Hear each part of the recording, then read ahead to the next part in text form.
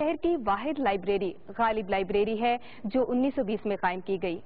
اس library کے قیام کو نواسی برس بیت گئے ہیں۔ مزید معلومات کے لیے آصف حنیف۔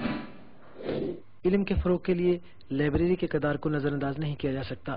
موجودہ جدید لائبریری معیاری کتب کے ساتھ ساتھ دیگر جدید سہولیات بھی فراہم کرتی ہیں، جن میں انٹرنیٹ، فیکس، فوٹو کاپی وغیرہ شامل ہے انٹرنیٹ کی سہولتوں سے دنیا بھر کے کسی بھی ملک کی معلومات براہ راست اور فوری حاصل کر سکتے ہیں۔ اس کے علاوہ فیکس کی سہولت سے بھی کاروباری لوگ دنیا کے کسی بھی ملک سے اپنے ٹریڈ کے بارے میں فوری رابطہ کر لیتے ہیں۔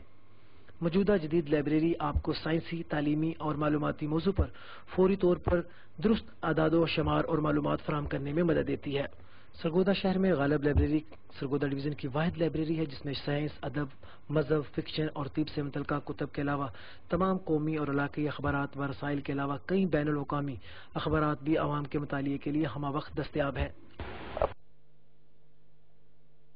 ہم تمام پیریاڈیکل تمام اہم پیریاڈیکل اور تمام نیشنل نیوز پیپر اور لوکل نیوز پیپر قارئین کے استفادہ کے لیے پیش کرتے رہتے ہیں اور ان کا منظم ریکارڈ رکھتے ہیں۔ تقریباً تین سال پرانا نیوز پیپر ہمارے ہاں اویلیبل ہوتا ہے۔ جی لائبریری بہت اچھی ہے، اس میں کتابیں کافی تعداد میں موجود ہیں، مگر کتابوں کی حالت تھوڑی خستہ ہے، گرد وغیرہ پڑی ہوئی ہے۔ اس کے علاوہ ہماری گزارش ہے کہ یہ میگزین جو ہے فیملی میگ وغیرہ، وہ بھی ادھر اویلیبل ہونے چاہیے تاکہ آدمی سنڈے میگزین وغیرہ آسانی سے پڑھ لے۔ کتابیں ادھر کافی تعداد میں موجود ہیں، ان کی پراپر جو ہے نا کیئر کی ضرورت ہے۔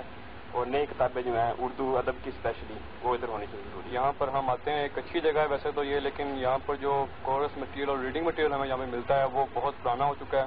کیونکہ جو بکس کی تبدیلی ہوتی ہے اور نئے نصاب کے تقاضوں کے مطابق جو یہاں پہ بکس چینج ہونی چاہیے تھی وہ نہیں ہوئی جس کی وجہ سے ہمیں کافی پرابلم تو ہوتی ہے۔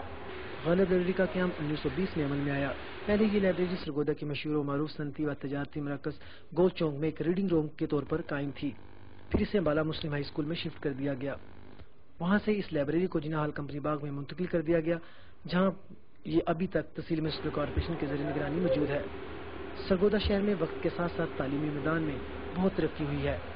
یہاں سرگودا یونیورسٹی کے بعد میڈیکل کالج اور زرعی کالج کے قیام سے غالب لائبریری کی اہمیت میں خاصا اضافہ ہوا ہے۔ مگر ان چیلنج سے نابردہ ہونے کے لیے لائبریری کو اپگریڈ کرنے کی ضرورت ہے۔ یہ جو غالب لائبریری ہے، اس کی حالت کو بدلنے کی ضرورت ہے۔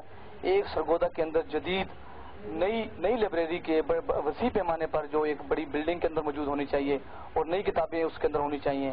پاکستان ہی نہیں بلکہ دنیا سے اس وقت اسٹوڈنٹس جو ہیں، ہمارے ان میڈیکل کالجز یونیورسٹی میں اور ایگریکلچر کالج کے اندر وہ زیر تعلیم ہے۔ تو اس وقت ہماری یہ ضرورت بن چکی ہے۔ اس کے اوپر ہماری ڈسٹرکٹ ایڈمنسٹریشن کو بھی ضرورت ہے توجہ دینے کی۔ اس کے علاوہ لائبریری میں انٹرنیٹ کی سہولت بھی فراہم کی جائے تاکہ جدید دور کے جدید تقاضوں کے مطابق طالب علموں اور عوام کے لیے لائبریری کی سہولت میسر ہو سکے۔ اس سال ہم اس میں بہت ساری بکس ایسی لا رہے ہیں جو کہ یونیورسٹی کے طالب علموں کی ضروریات کو پوری کرے اور مقابلے کے امتحانات کے جو اسٹوڈنٹس ہیں، جو امتحان دینا چاہتے ہیں، ان کی ضروریات کو پورا کرے۔ ساتھ اس کو ہم کمپیوٹرائز کر رہے ہیں تاکہ انٹرنیٹ کی تمام سہولتیں بھی یہاں پر میسر ہوں۔ Asif Pakistan television news, Sargodha.